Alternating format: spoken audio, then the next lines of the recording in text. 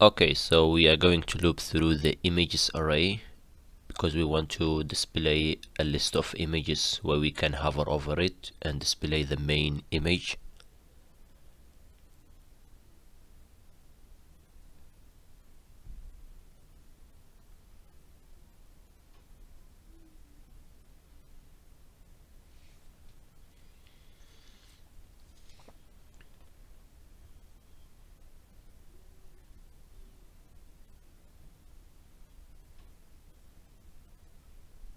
it seems something is not right and that's because uh, we interpolated the wrong variable. But before that I need you to know that the params snapshot returns a string so we need to convert it to a number. Otherwise it will not going to return anything.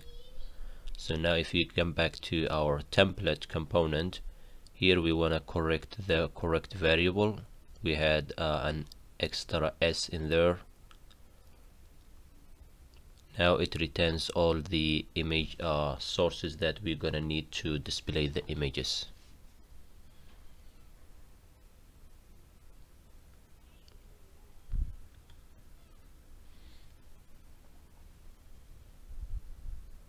So we're gonna bind the the source property to the image that we we are getting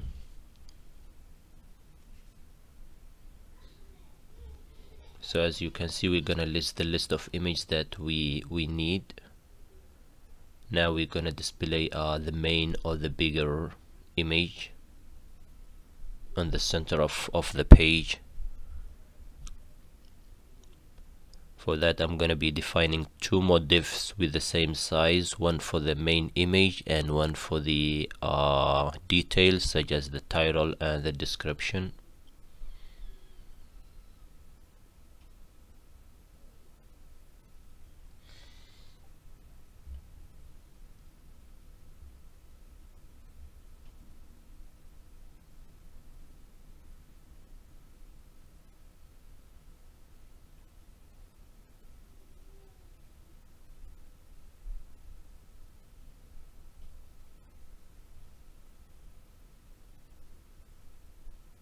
so we don't want to hardcode the the image that we're going to display. Rather we we we're going to be using a property that will be changing dynamically whenever we hover over the image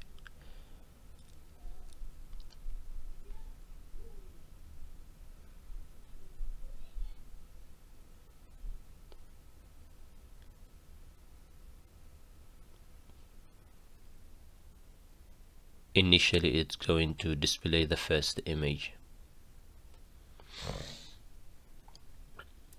Uh, the image that I'm using is of low uh, quality. You can use a larger image but for this purpose I'm just gonna use the width of 120 percent to make it look bigger. That will do it. Now we need to hover over the image to implement that but before that I just think I put the same number of the same image of 3 and I need to change that to display the different images that we have downloaded for this product. Yeah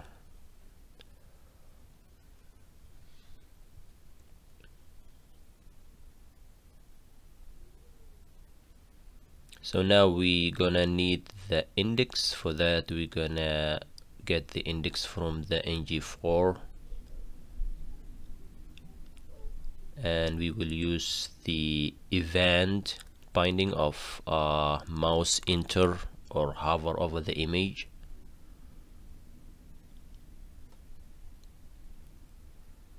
And the same property that we used here it's always it's going to have a new value whenever we hover based on the based on the index number of that specific image. And that will lead to to change the main image as well.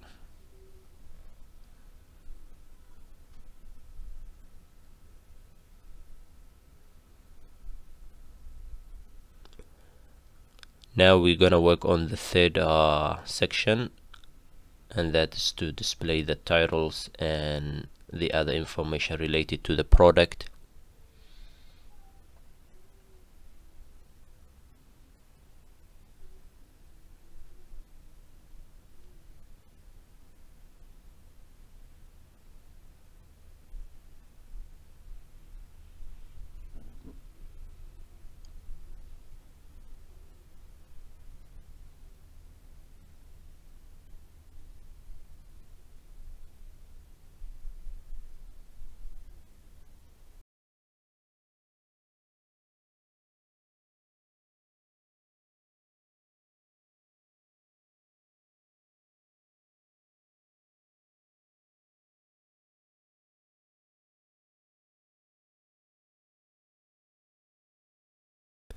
and finally we're gonna add the add to cart button.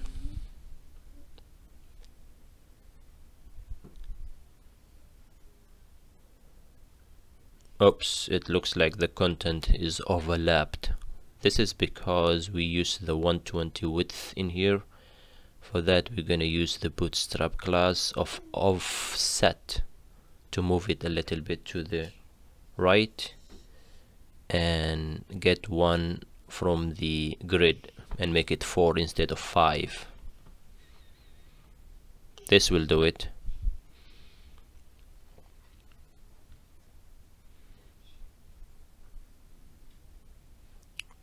I'll just add a pipe to look like uh, it has the dollar sign.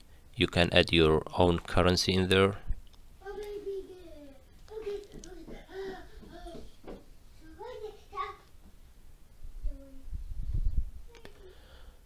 so in the add to cart button we're gonna add an event click event to add the items to the cart holder.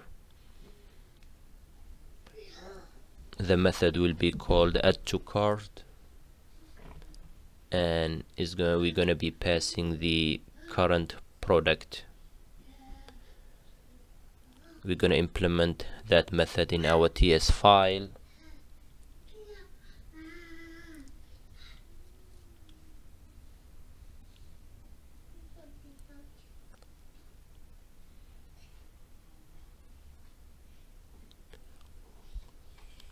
we're also going to inject the cart service since that is where we're gonna define our add to cart uh, functionality.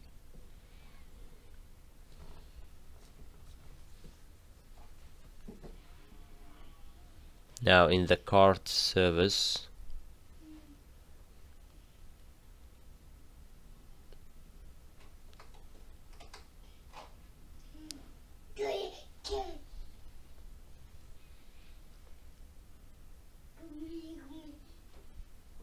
we're gonna define the method add item and we're gonna be expecting to receive an item or a product of type product. And we're also going to have an array cart items.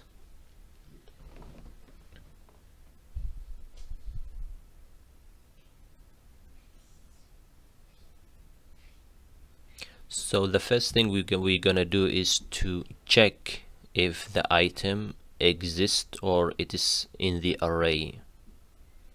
For that we're going to be using the find method.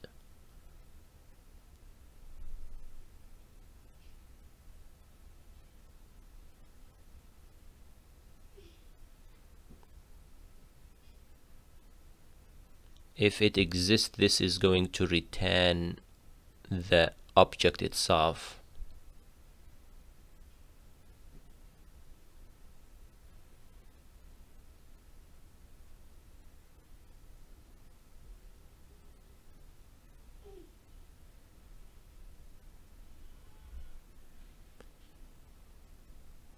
let me just rename the item to product. So we're gonna see if because id is the unique I is the unique property that we have so it is the best thing to compare the both uh, the existed items and the item we are about to pass. So if the item do exist we just want to change the property of of quantity instead of adding a new one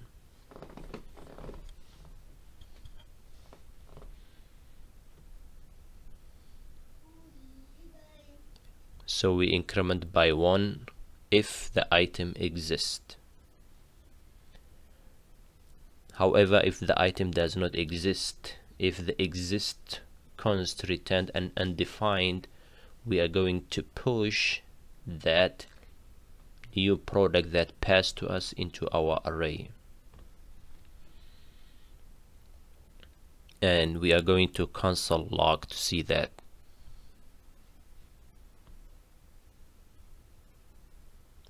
let's not forget the plus plus to increment by one for every click. Back to our product ts file. We're going to call the method we just defined and pass the product to it.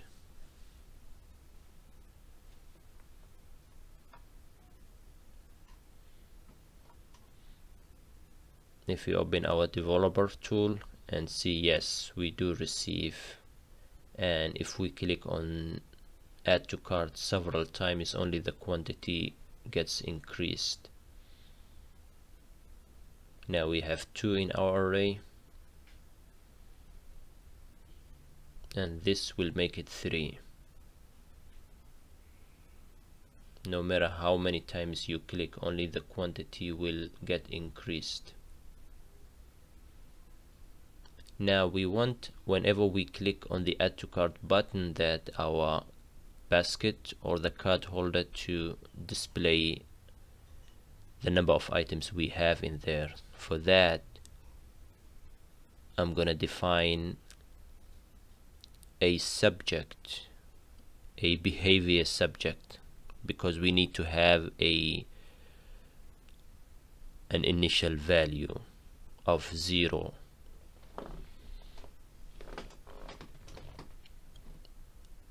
and instead we are going to pass an empty array in there which always gonna have the length of zero.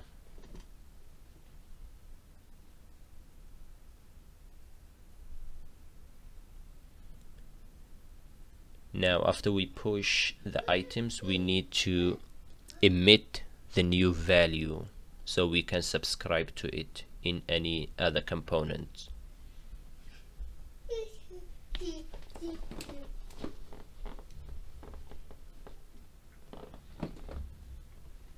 so in our app ts we have our constructor because we want to instantiate the cart service in here.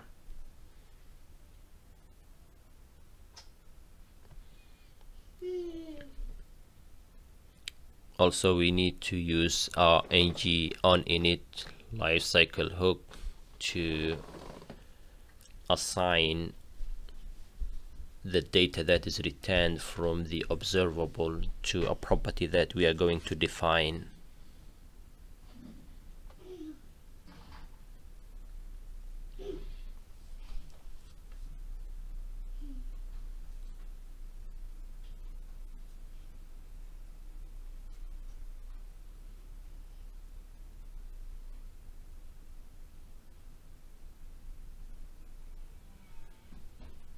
now as you can see this is from the app.ts line 15 now that we are getting the data we we are ready to assign it to a property named item in cart.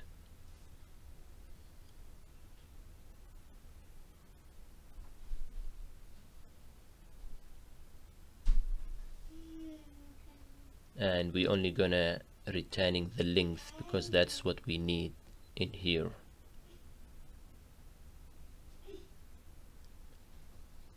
Now we need to display the property in our template component